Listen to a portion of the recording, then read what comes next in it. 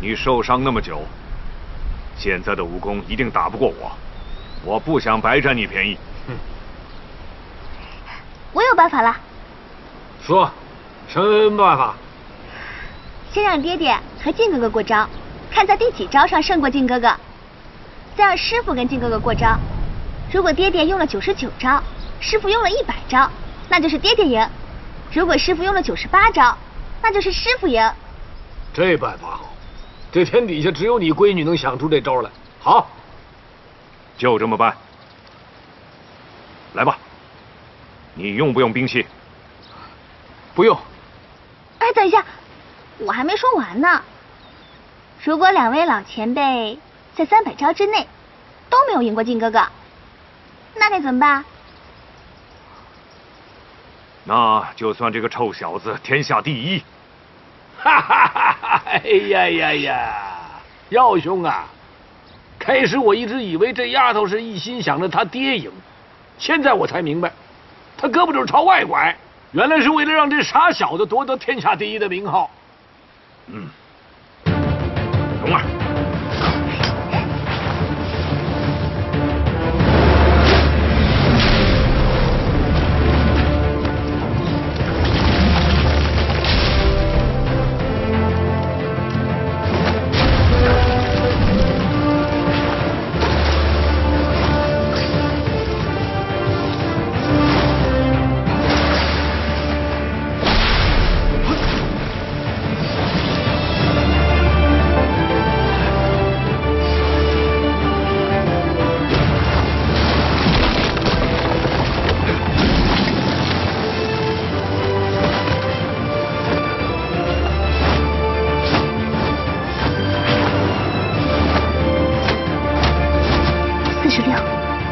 不许七